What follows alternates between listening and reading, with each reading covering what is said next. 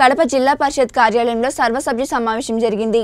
ఈ సమావేశంలో జిల్లా మంత్రులు ఎమ్మెల్యేలు కలెక్టర్ జాయింట్ కలెక్టర్ జడ్పీటీసీలు ఎంపీటీసీలు పాల్గొన్నారు. నియోజకవర్గాలలో మండలాల్లో వివిధ సమస్యలపై చర్చించారు. సభ్యులు అడిగిన ప్రశ్నలకు అధికారులు మంత్రులు ఎమ్మెల్యేలు సమాధానం ఇచ్చారు ఆ తర్వాత ఇట్లా అరటి కానీ తర్వాత కరోనా వచ్చినప్పుడు చీని కూడా ఎనిమిది వేలు పదివేలు కూడా ఆ ధరలు పడిపోయినాయి సార్. ఆ పడిపోయినప్పుడు అందరూ కూడా మీరు ముఖ్యమంత్రి గారికి చెప్పి ఈ జిల్లా నుంచి అయినా కనీసం ఇదంతా హార్టికల్చర్ బెల్ట్ రైతులు ఇబ్బంది పడే పరిస్థితి ఉందని ధరల స్థిరీకరణ నిధి నుంచి ఇంతవరకు ఏం దాంట్లో మైగ్రేషన్ వెళ్ళడం కానీ అదేవిధంగా ఆల్రెడీ ఇల్లు వాళ్ళకు శాంక్షన్ అవ్వడం కానీ పాత స్కీములలో సొంత హౌస్ ఉండడం కానీ ఈ విధంగా వివిధ కారణాల వల్ల ఒక పన్నెండు వేల ఇల్లు మనం తగ్గించడం జరిగింది. అందువల్ల మిగిలినటువంటి ఫైనల్గా వర్క్ మనము లక్ష నలభై మూడు వేలు తీసుకోవడం జరిగింది. Preparatory works geo tagging mapping registrations కూడా మనం ఇంకా చేస్తున్నాము. సెవెంటీ పర్సెంట్ వరకు మనం క్రాస్ చేయడం జరిగింది. మిగిలినటువంటి థర్టీ పర్సెంట్ కూడా మేము ఈ నెలలో జియో ట్యాగ్ వాటిని కంప్లీట్ చేసి వాటికి కూడా మనం బిల్లులు పెట్టడం జరుగుతుంది. ఇకపోతే మనకు గవర్నమెంట్ ఈ యొక్క లబ్ధిదారులు బేస్మెంట్ కట్టుకుని దానిలో చాలామంది ఇబ్బందులు పడుతున్నారు. అరవై నాలుగు వేల నాలుగు వందల యాభై తొమ్మిది మంది బీపీఎల్ స్టేజ్లో ఉండి వాళ్ళు బేస్మెంట్ కట్టుకోవడానికి ఆర్థిక స్థోమత లేక చాలా ఇబ్బంది పడుతున్నారండి ప్రభుత్వం వారు ఒక మంచి ఉద్దేశంతో ప్రతి బెనిఫిషరీ ఇల్లు కట్టుకోవాలనే సదుద్దేశంలో వాళ్ళు బిలో బేస్మెంట్లో ఎవరైతే ఉంటారో పునాదులు తీసుకొని తొమ్మిది గుంతలు తీసుకొని రెడీగా ఉంటారో అటువంటి వాళ్ళకందరికీ పదిహేను వేలు అదనంగా సహాయం చేయాలని యూనిట్ కాస్ట్లోనే పదిహేను వేలు ఇవ్వాలని గవర్నమెంట్ ఈ గుర్తుటికి ఇయ్యలేని మీ ప్రభుత్వం సెంట్రల్ ప్రభుత్వం కానీ మీ స్టేట్ ఆనాటి ప్రభుత్వం కానీ ప్రభుత్వాల ప్రజల యొక్క నమ్మకాన్ని ఒమ్ము చేసి వాళ్ళ డబ్బులు దగా చేసి రెండు ప్రభుత్వాలు మీ దగ్గర పెట్టుకొని ఇల్లు లేకుండా డబ్బు లేకుండా గాలి వదిలేసిన మీ ప్రభుత్వాలు మాట్లాడడానికి కూడా అర్హత లేదు. రెండవది ముక్కాలు సెంటు అపార్ట్మెంట్ పద్ధతి మీరు కట్టే ఇల్లు డెమో ఇల్లు నేను కట్టినా ప్రొద్దుటూరులో.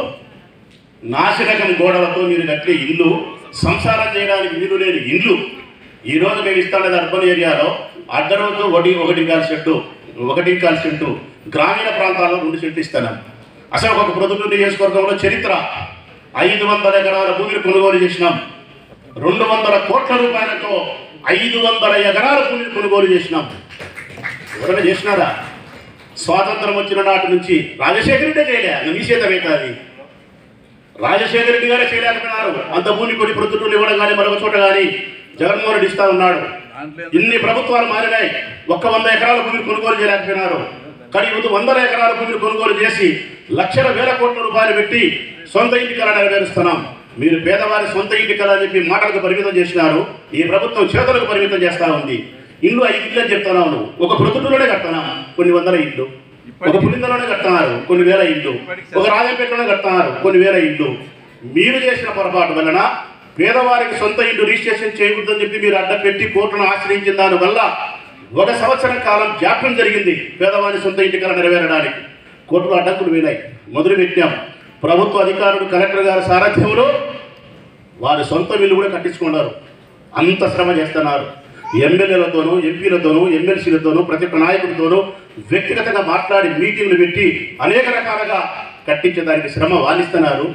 మేమందరం కూడా వైఎస్ఆర్ కాంగ్రెస్ పార్టీకి సంబంధించిన నాయకులం మా సొంత ఇల్లు కట్టుకునే పరిస్థితుల్లో చేస్తూ ఉన్నాం.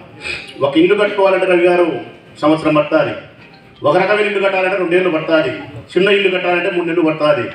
మన ఇల్లు మనం కట్టుకోవడానికి అంత శ్రమ ఉంటే ముప్పై లక్షల ఇల్లు కట్టడానికి శ్రమ కంటే కూడా నిబద్ధత ఎంత అర్థం చేసుకోండి. మానసిక విశాలతను అర్థం చేసుకోండి. పేదవారి పట్ల ఈ ప్రభుత్వానికి ఉండే గొప్ప హృదయాన్ని మీరు అర్థం చేసుకోవాలా?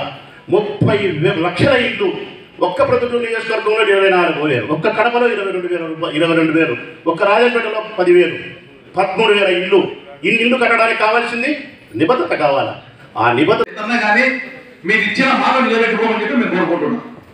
నేను చెప్పేది కూడా కట్టింటే కదా రవి నేను చెప్పేది మా అన్న జమ్మలమడుగులో ఆల్రెడీ కంప్లీట్ అయ్యేది మేము చూసి వచ్చాము. ఈ ఫోటోలు కూడా పంపిస్తాం ఇంకోటినా? ఆ ఇల్లని నాశనే కబడ్డారు మీ ఇల్లు అనేది ఎలా ఉంటాయో ప్రసన్న కుమార్ రెడ్డి గారు మీ ఎమ్మెల్యే ఆయనే చెప్తాడు. ఆయనే పనికిరాడు నాన్న పనికిరాడు దీని పనికిరాడు ప్రసన్న కుమార్ రెడ్డి గారే చెప్పారు ఓపెన్గా మీరు సరేనా మీరు పేదవాళ్ళకి ఇల్లు కట్టించే దాంట్లో మాకు ఎలాంటి అభ్యంతరం లేదు. ఇప్పటికి మూడేళ్ళు కాలయాపన అయింది. కోట్ల మీద చెప్పి మా మీద చెప్పి అట్లా ఇట్లా మీకు చేతగాక దాన్ని మా మీద వేయకుండా ప్రజలు కట్టించండి అడుగుతున్నాను అంతే దర్శి. ఎనభై మూడు నుంచి కట్టిన ఇళ్ళకు పదివేలు అడగడం ఏమన్నా ధర్మం అన్నా చెప్పండి. మీకు అంత ఉదార స్వభావం అంత ఇది పేదల మీద అంత బాగా ఉన్నప్పుడు ఏ పదివేల రూపాయలు కూడా మీరే కట్టి వాళ్ళకి రీఛార్జ్ చేయండి. ఎందుకు ఆమె సతాయిచ్చి బాకాలను సతాయిచ్చి వాళ్ళని సతాయిచ్చి పదివేలు ఇట్లా కట్టుకొని ఇట్లా లోన్ ఇప్పిస్తాం ఇట్టిప్పిస్తామని చెప్తారు? దీనికి సమాధానం చెప్తారా మీరు? ఊరికే నా నేను ఇక్కడ డిబేట్ చేయడం రాలేదు నిమిషం, లెట్ మీ కంప్లీట్ నేను డిబేట్ చేసేదానికి నాకు అనేకమైన వేదికలు ఉన్నాయి. నేను ఇక్కడ చేస్తాను. నేను మీతో డిబేట్ చేసేదానికి కానీ ఆర్గ్యుమెంట్ చేసేదానికి రాలేదు. నా పాయింట్స్ ఏదైనా చెప్తారో. దానికి ఏదైనా మీరు మంచి పద్ధతిలో చేస్తారా? చేయండి. నేను అడిగేటైతే సహజమైన సహేతుకమైన ప్రశ్నలే నేను ఇంకా నీ మాట హాఫ్ ఆ డిబేట్ నేను రాలేదు. దయచేసి మీరు నిజంగా అంత మంచి ఉద్దేశం ఉన్నప్పుడు పదివేలు ఎత్తుకోవాలని నా క్వశ్చన్. రవి.